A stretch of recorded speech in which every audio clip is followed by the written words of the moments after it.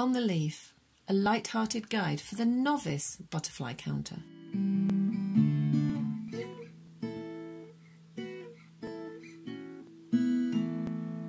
Hi, welcome to an update from On the Leaf. I'll be sharing the butterflies we have seen this week, how many and where. Last week on the transect, 135 butterflies. This week's count on July the 1st, 178. Top butterflies, first place meadow brown, but only just. Second place, marbled white. Top moment of the week, hmm, too many. This week begins and ends with rain. We have blustery winds. Some percentages are around 15 to 20%. What did it mean for the butterflies? What kept away? Did anything actually fly in the rain? Go back to last Sunday and the weather was warm. There's a variety of butterflies, and on our early morning walk, an orange coloured butterfly spins across our path. It misses us, but only just. It's a comma butterfly, and its markings will set the tone for the whole of the week orange and brown with a bit of black. We follow the comma. It settles on bracken, and we watch as at nine in the morning it sits and warms up in the sun. Being cold blooded, butterflies need to warm up to get ready for a full day's flight. We first met this butterfly, described by the Woodland Trust as a tough, charming, rough around the edges kind of butterfly, on May the 20th this year. Well, it's certainly rough around the edges, but thankfully, numbers are on the increase. Comma butterflies love to drink nectar from bramble, thistle, and knapweed, all out now, blackberry and plum in the autumn. They can fly here and be seen around the hedges well into October, and when they need to hide, they shut their wings tight to resemble a dead leaf, well camouflaged. Back in the fields and away from the common, though here as well, there are meadow brown butterflies all over the grass. Most have woken up, but some enjoy a Sunday lie in, like these two, a male and a female. The female's broad band on her underside, easy to see. Monday continues with the orange theme. With strong winds, not great for counting, 10% sun, not great at all. Will butterflies fly?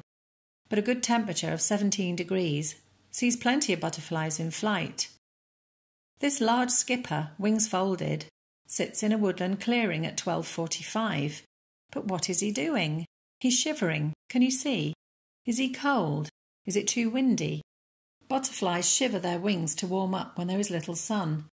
When he has warmed up, the skipper will fly as he does here, See how beautiful his orange colour is against the green of the leaf.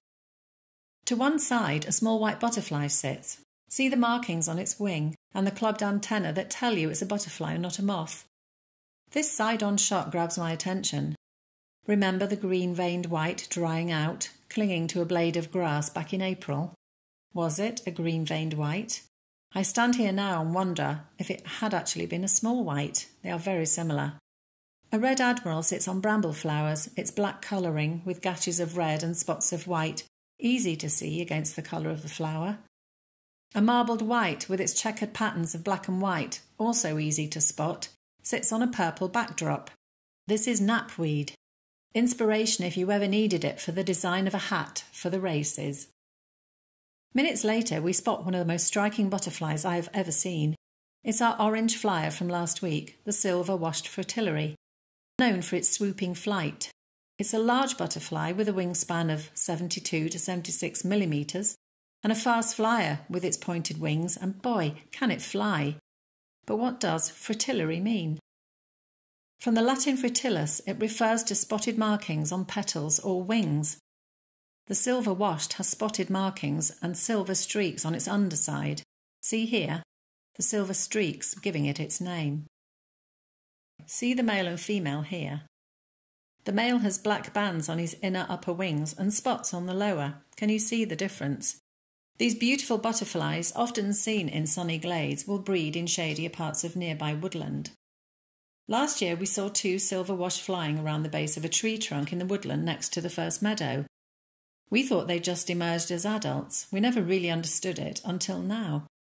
Female silver wash lay their eggs around the base of trees, in the crevices of tree bark. They will lay about two centimetres up from the ground and often in moss. This is that very tree. More to the point, it faces north, as it needs to, or even to the west, for egg laying. It's fascinating stuff.